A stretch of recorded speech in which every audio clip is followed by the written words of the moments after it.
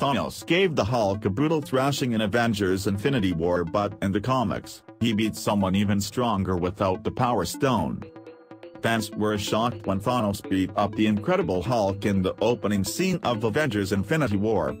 The brutal beating established Thanos as a powerful opponent with superior fighting skills as even the Hulk appeared scared to face the Mad Titan again. Even so, some audiences thought the fight was unfair. Thanos had already acquired the Power Stone, after all, which gave him access to a limitless source of physical strength that outmatched even the Hulk. Without the stone, some fans felt the Hulk would have a definite edge.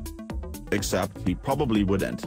In the comic book miniseries that Avengers Infinity War was based on, Thanos actually battles and defeats an opponent infinitely more powerful than the Hulk. Moreover, that opponent is the one wielding the Power Stone, not Thanos.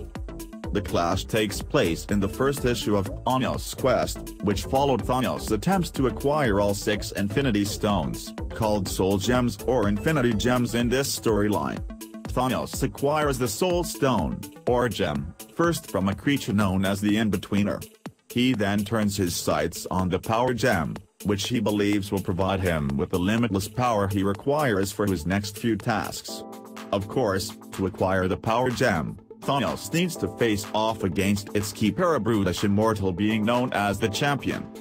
Tracking Champion to the planet Marata, a world constantly under siege by warring federations, Thanos finds the all-powerful being beating up entire armies by himself. Such actions are typical for Champion, who is only interested in testing his might against incredibly powerful foes, not unlike Goku of Dragon Ball Z. Thanos takes advantage of this by challenging Champion to a fight, which the battle-hungry being eagerly accepts. Right from the start, however, it's clear Thanos is in complete control of the battle. While Champion is much stronger than Thanos, his movements are brutish and Thanos is able to dodge his blows and knock him off balance.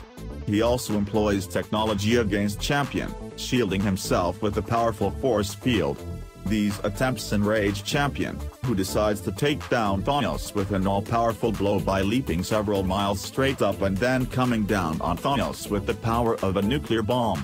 Which is exactly what Thanos wants. Moments before Champion can strike, Thanos teleports himself away, causing Champion to hit the ground and create an explosion that starts a chain reaction which literally shatters the entire planet. Realizing that Champion had unknowingly been drawing on the infinite reserves of power from his power gem, Thanos intentionally goaded his opponent into releasing that power into his world leaving him adrift in space. Initially, Champion is elated that he won until Thanos points out that, without a ship to transport him through space, Champion will just drift aimlessly for centuries.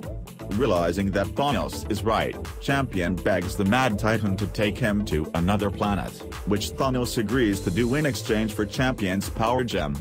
He then honors their agreement by dragging Champion to another planet with his tractor beam, but makes sure he falls through the atmosphere to get there since he never agreed to give Champion a soft landing while audiences never got to see how Thanos acquired the Power Stone in Avengers Infinity War, his acquisition of it in the Thanos quest is a stunning display of strategy, guile, and sheer brute strength.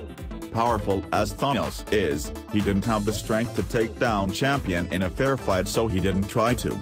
Using his superior knowledge of Champion's abilities, Thanos manipulated Champion into using his own power to his disadvantage, ensuring a win for Thanos. Given what happened to the planet, the Hulk probably has plenty to worry about if he ever goes up against Thanos again. What's your thoughts about this? If you liked the video then don't forget to like comment share and subscribe. See you in the next video.